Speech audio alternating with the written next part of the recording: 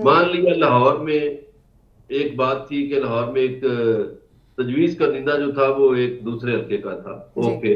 उसमें ये है कि आरों को इख्तियार होता है वो दरखास्त को कबूल कर ले या ना करे ये उसकी मर्ज़ी है। हम्म, लेकिन मियाँ वाली ये इशू नहीं था।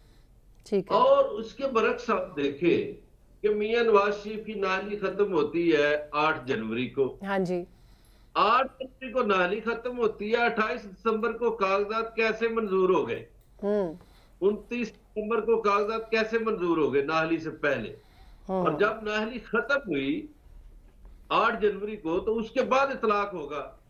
तो वो पहले कैसे खत्म पहले उनके कागजात कैसे मंजूर हो गए? बिल्कुल सही। अब इलेक्शन कमीशन जो है देखिए हाईकोर्ट का फैसला मानने से इनकारी है। हाँ अभी तक उन्होंने अपनी वेबसाइट पे बल्ला निशान बहाल नहीं किया। बिल्कुल तो ऐसे क्या इलेक्शन कमीशन अब पाकिस्तान अदालतों से लड़ने जा रहा है? हम्म। ये जो अभी नफेर साहब ने बात की कि यासमीन राशिद को भी इंसाफ मिल गया देखिए वो इलेक्शन कमीशन की तरफ़ से नहीं मिल रहा इंसाफ। हाँ जी।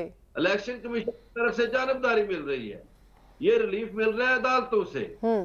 कल भी मैंने गुजारिश की थी कि रिलीफ भी उन लोगों को मिल रहा है जिनके कागजात मुस्तरद हुए। हम्म। मगर वो इस नेमत से भी महरूम है जिनके कागजात जमा नहीं हो सके थे जिनके कागजात छीन लिए गए थे। जी जी। वो तो बेचारे क्या चक्कर मारे किससे इंसाफ मांगे? हम्म हम्म। अब जी ठीक है जी सुप्रीम कोर्ट जाएँगे इलेक्शन कमीशन।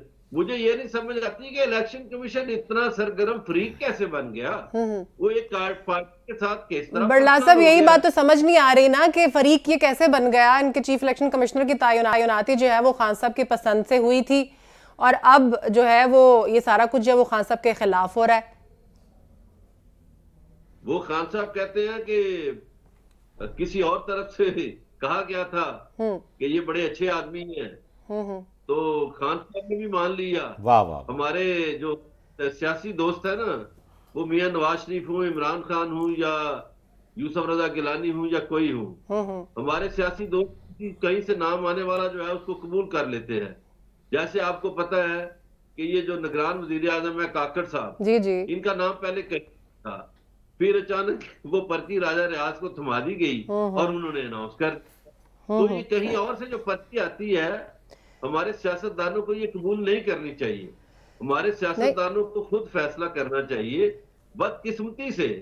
बशमूल इमरान खान बशमूल मियाँ नवाज़ बशमूल आसफ अली जरदारी हम्म। हमारे सियासतदान खुद फैसला नहीं कर पाते बहुत सी जगहों पर। हम्म हम्म। वो कहीं और से जो आती है उसको कबूल कर लेते हैं।